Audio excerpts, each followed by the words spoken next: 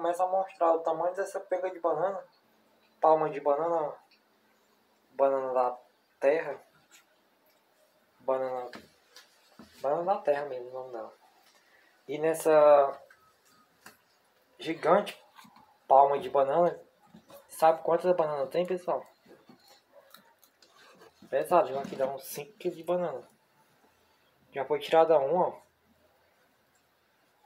Foi tirada uma daqui, ó. Já tá madura. Já tirei uma daqui, ó. Ó, já tá madura. Tá bem madurinha. E vamos lá contar quantos que tinha. Já tirei uma e aqui tem.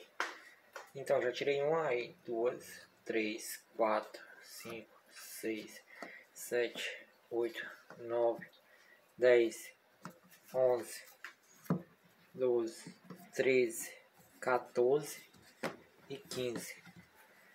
15 bananas em uma única penca de banana, que é banana. O nome dessa banana é banana da terra. Tem pessoas que chamam ela também de banana coruda. Então, pessoal, essa, essa gigante penca de banana tem.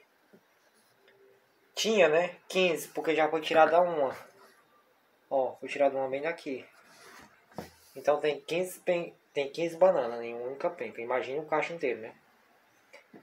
Então aqui tem.